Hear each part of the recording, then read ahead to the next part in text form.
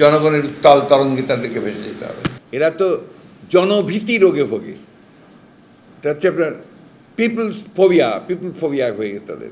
মানুষ দেখলেই ভয় পায়, যে কারণে তারা নির্বাচনগুলো ওইভাবে করে, যাতে করে আপনার জনগণকে বাদ দিয়ে করা যায়, সেই পদ্ধতিতে নির্বাচন করে। রাষ্ট্র চালাতে চায় তারা মানুষকে বাদ দিয়ে। এটা তাদের অসুখটাই তাই, রোগটাই তাই। যেই কারণে আজকে তারা ভয় পাচ্ছে যে এইভাবে যে জনগণ জেগে ওঠে গণ অভ্যুত্থান সৃষ্টি হবে, হবেই, এবং তখন তাদেরকে অত্যন্ত ধিকৃত অবস্থায় সরে যেতে হবে।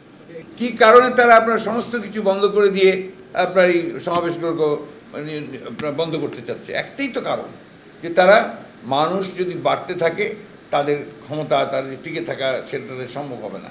জনগণের উত্তাল তরঙ্গে তাদেরকে ভেসে যেতে হবে। আগামীকাল আমাদের খুলনায় সমাবেশ আছে। এই সমাবেশকে কেন্দ্র করে ইতিমধ্যেই সরকার একটা সন্ত্রাসের রাজত্ব সৃষ্টি করেছে খুলনায়। খুলনায় তারা পথে পথে আমাদের নেতা কর্মীদেরকে সাধারণ মানুষকে গ্রেপ্তার করছে।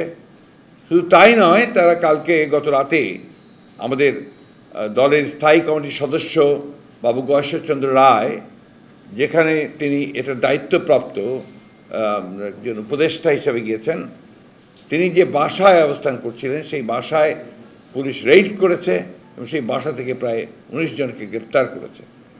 আমি কিছুক্ষণ আগে খবর নিয়েছি যে এখন নির্দেশ দিয়েছে যে পথে পথে যাকে যেখানে শহরে পাওয়া যাবে তাকে সেখানে গ্রেপ্তার করার জন্য। গতকাল তারা রামদা, লাঠি সেটা অস্ত্র নিয়ে তারা শোডাউন করেছে। বিভিন্নভাবে তারা মোটরসাইকেল নিয়ে আওয়ামী লীগের সন্ত্রাসীরা, তারা একটা সন্ত্রাস সৃষ্টি করার চেষ্টা করেছে। আমি এই গ্রেফতার এবং এই সন্ত্রাস সৃষ্টি করবার যে প্রচেষ্টা, তার তীব্র নিন্দা জানাচ্ছি এবং প্রতিবাদ করছি এবং অবিলম্বে গ্রেফতারকৃতদেরকে মুক্তি দেওয়ার দাবি জানাচ্ছি। একই সঙ্গে খুলনার সমাবেশে যেন কোনো বাধা সৃষ্টি করা না হয়, তার জন্যে আমি আহ্বান জানাচ্ছি। যদি কোনো রকমের সমস্যা তৈরি হয়, তার সকল দায় দায়িত্ব সম্পূর্ণভাবে সরকারকেই নিতে হবে। এবং আজকে যেটা হয়েছে, সেটা হচ্ছে যে আপনারা জানেন যে সমস্ত বাস গণপরিবহন তারা বন্ধ করে দিয়েছে। এবং এমনও কথা আছে যে ট্রেনও নাকি বন্ধ করেছে, যদিও সেটার এখন কোনো কনফার্মেশন আমরা পাইনি তো এই ধরনের তারা বন্ধ করছে লঞ্চও বন্ধ করছে। কিন্তু এটা হচ্ছে সাধারণ মানুষের যে আপনার জীবনযাত্রা, তাকে সম্পূর্ণভাবে তারা পরিকল্পিতভাবে ব্যাহত করছে।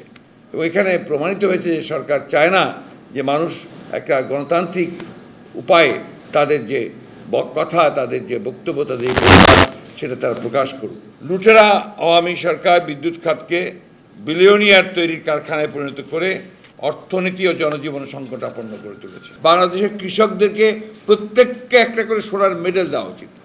তারা দিবারাত্র পরিশ্রম করে যে ফসল ফলায়, তার জন্য বাংলাদেশের মানুষ কোনো রকমে খেয়ে বেঁচে থাকে।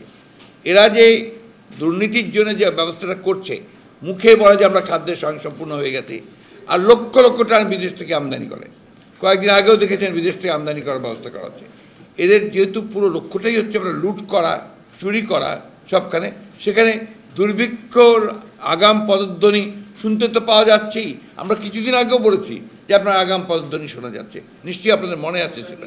তখনও তারা আমাদেরকে, এখন প্রধানমন্ত্রী নিজেই বলছেন সেটা। প্রধানমন্ত্রী নিজেই বলছেন এবং তারা এই যে ব্যর্থতা আপনার যে খাদ্য নিরাপত্তা নিশ্চিত করার ক্ষেত্রে এটা এখান থেকেই প্রমাণ করে।